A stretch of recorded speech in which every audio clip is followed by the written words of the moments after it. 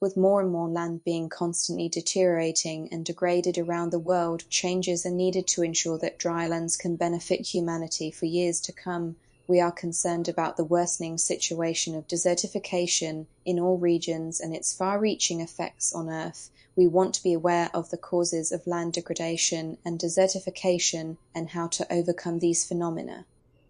Once, in class, we read a story by Andrei Platonov, the Sandy teacher, and we learned the experience of Maria, the main character of the story, who wanted to transform the world and build a new life on the border with the Central Asian Desert, and Maria came up with the idea that people should be taught how to fight the sands.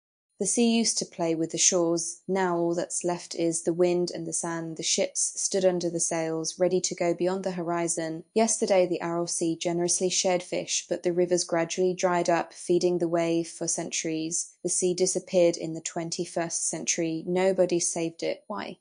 Landscaping of the desert from willow bushes using a condenser box made of biodegradable polymers. The seedling is planted in a hole no more than 10 centimeters deep. A pallet box is put on it into which condensed moisture flows from above. One cubic meter of air contains 2025 grams of water. Uh, due to the differences in daytime and nighttime temperatures, and it is easy to condense. From the pallet, water flows in small doses to the seedling. Boxes can be created in unlimited quantities very cheaply from improvised materials cardboard, plywood waste, plastic from biodegradable polymers that will become fertilizer for plants. Germination of seedlings is possible up to 9095%. The second method is the design of the architectural construction of an eco-farm in the steppe with elements of nature. In the design, we offer large glass windows to maximize the use of sunlight.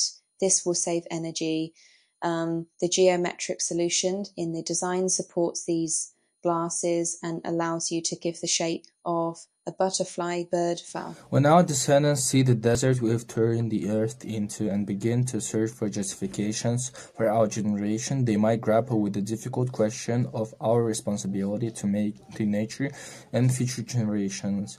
Our descendants may argue that our generation faced immense economic pressures and social challenges. We may have been compelled to exploit natural resources and pollute the environment to ensure a high standard of living and prosperity for our civilization. Economic growth, industrialization, and the satisfaction of material needs might have been priorities that outweighed environmental concerns.